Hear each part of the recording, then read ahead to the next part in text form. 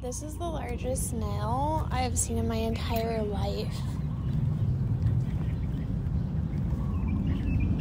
Holy shit.